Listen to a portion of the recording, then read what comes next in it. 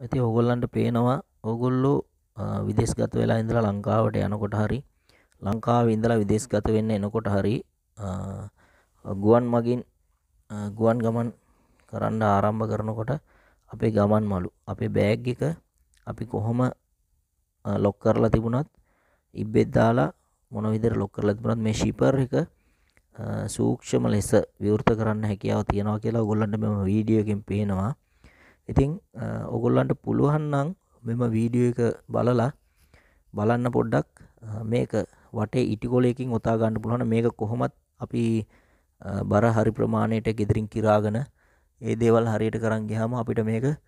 ඉටිකොලයකින් cover කරගෙන යන්න පුළුවන්. ඉතින් ඒක ගැන පොඩ්ඩක් අවධානය යොමු කරන්න මෙන්න මේ ආකාරයට තමයි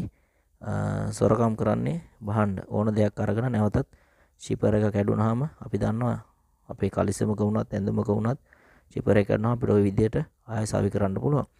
ඉතින් ඒ ගැන අවධානය යොමු කරන්න ඔගොල්ලෝ ඉබ්බ දාලා වටේ ට්‍රැපින් කරගන්න පුළුවන් නම් හොඳයි කියලා මේ හිතනවා. ඉතින් මේ වීඩියෝ ඔයගොල්ලන්ට වැදගත් වෙයි කියලා හිතනවා. ඉතින් බලලා ඉවරලා ඔයගොල්ලන්ගේ ගමන් මළු සුරක්ෂිතව තබාගෙන යන්න කියලා ඉතා ආදරයෙන් ඉල්ලා සිටිනවා